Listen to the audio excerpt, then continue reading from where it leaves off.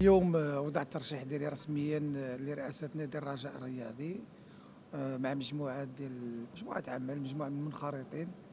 آه، وكنتمنى على الله على أن فريق الرجاء الرياضي يرجع للتوهج ديالو كيف ما كان سابقا. واليوم عندنا الجمع العام يوم 26 في هذا الشهر. نتمنى انه يمر في ظروف جيدة وظروف اللي تكون آه، زعما فيها الديمقراطية و ونادي الرجاء الرياضي معروف عليه على أنه دائما كان كيعيش مثل هذه اللحظات. ما تنساش تشترك في القناة وتفعل الجرس باش يوصلك جديد الفيديوهات من هسبريس.